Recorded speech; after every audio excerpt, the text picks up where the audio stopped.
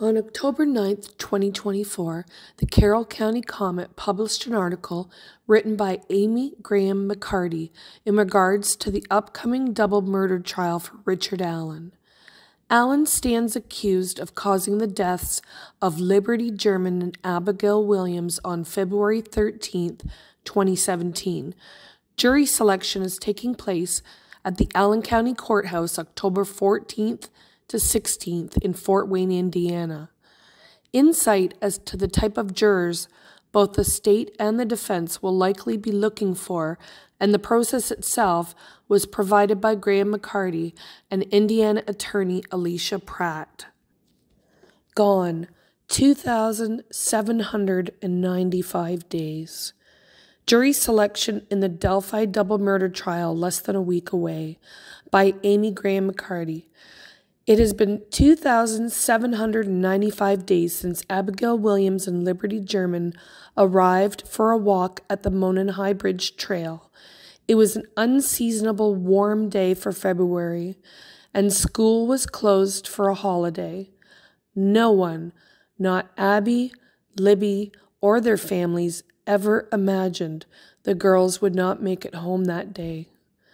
On February 14, 2017, 2,794 days ago, the bodies of Abby and Libby were found not far from where Libby recorded a video of a man telling them to go down the hill.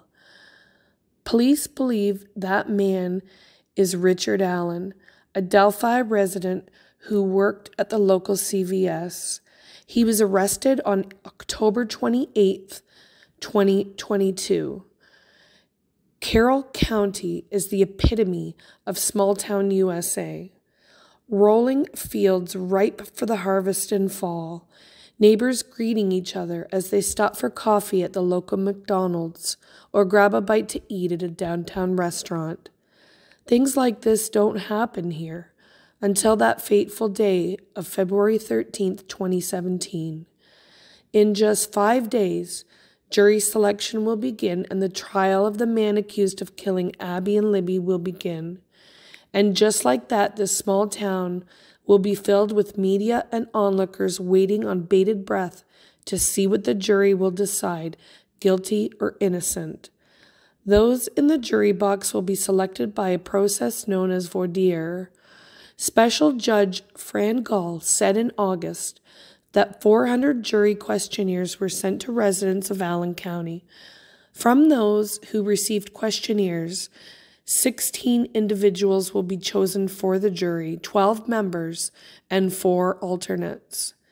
As the Comet's legal expert Alicia Pratt said earlier this year, having knowledge of the news surrounding the deaths of Abby and Libby isn't enough to exclude exclude someone from jury duty for the trial. Pratt said lawyers may be looking for individuals who have not completely dug into the details of the case. Will it be impossible to find someone who has not heard of the case? Pratt says yes. She says attorneys will be looking for someone who may have read a story or watched a news report, not those that are reading every report, listening to podcasts, and following the case on social media. On Monday, October 14th, voir dire begins. Voir dire, according to Pratt, means to speak the truth.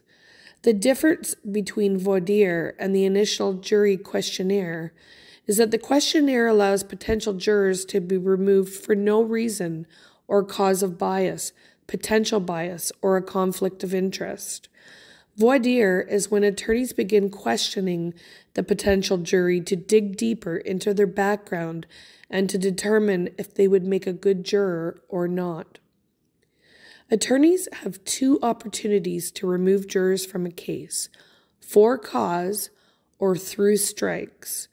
For cause removal could be because someone is related to someone connected to the case, has an in depth personal knowledge of the case, or because they are related to the parties or attorneys involved in the case, Pratt said.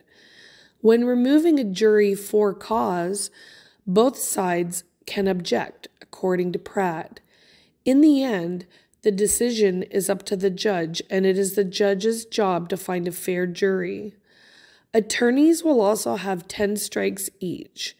They can use these to release a potential jury member without having to say why they are doing so. Pratt said each side of the case will be looking for something different in a jury member.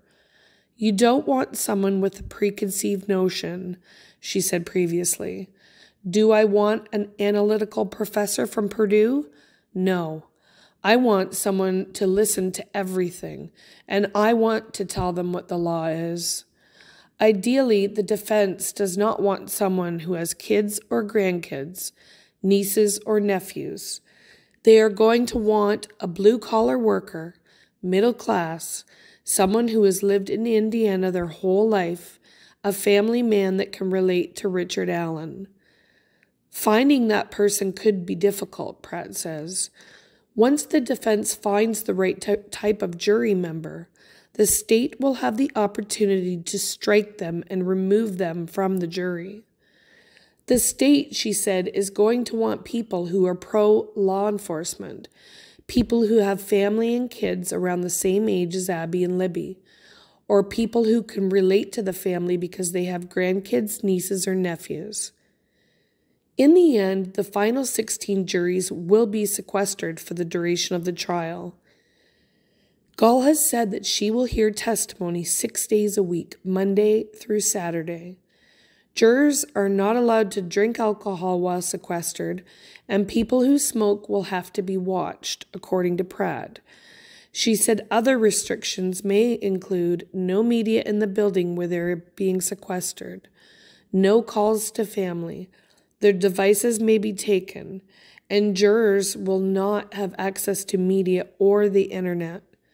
Jurors will also not be allowed to discuss the case until the conclusion of the evidence.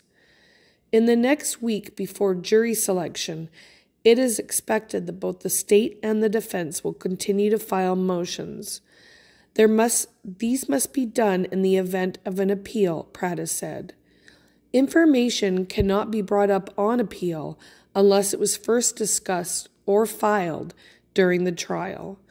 Jury selection in Allen's trial begins October 14th in Allen County, and the trial will begin October 18th in Carroll County.